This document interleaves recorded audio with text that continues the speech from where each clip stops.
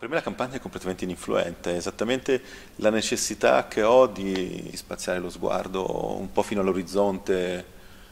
perché tipo passo il, il tempo a disegnare o a fare progetti, a leggere, per cui sono sempre di fronte a un computer o a un libro o a un foglio da disegno o a una tela, che è un orizzonte vasto psicologicamente,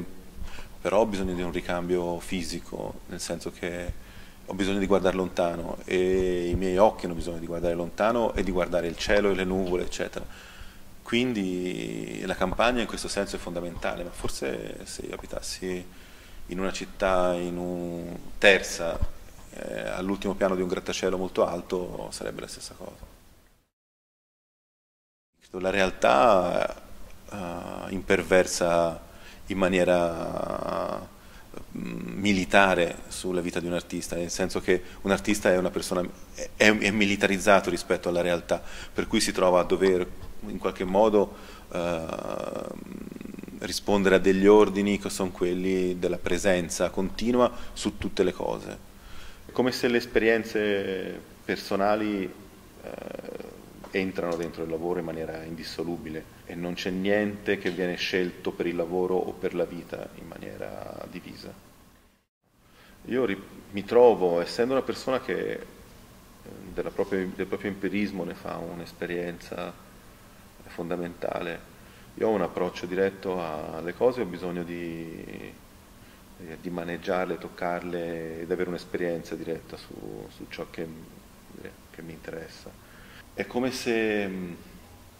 ci fosse un momento preciso in cui l'occhio, la mano e la mente diventano un tutt'uno circolare, il cervello diventa lo strumento operativo della mano. Tento ogni volta di riuscire a mettere in un'opera, in un lavoro o in un ciclo di cose che faccio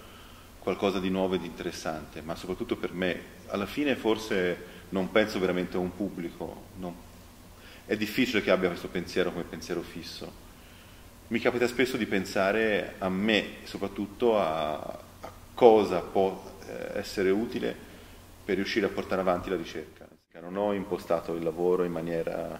uh, scientifica, nel senso che non c'è un percorso che mi sono obbligato a percorrere, ma ci sono tanti percorsi che vanno paralleli e spesso i percorsi rimangono paralleli e non si incontrano. Ci sono dei cicli di lavori che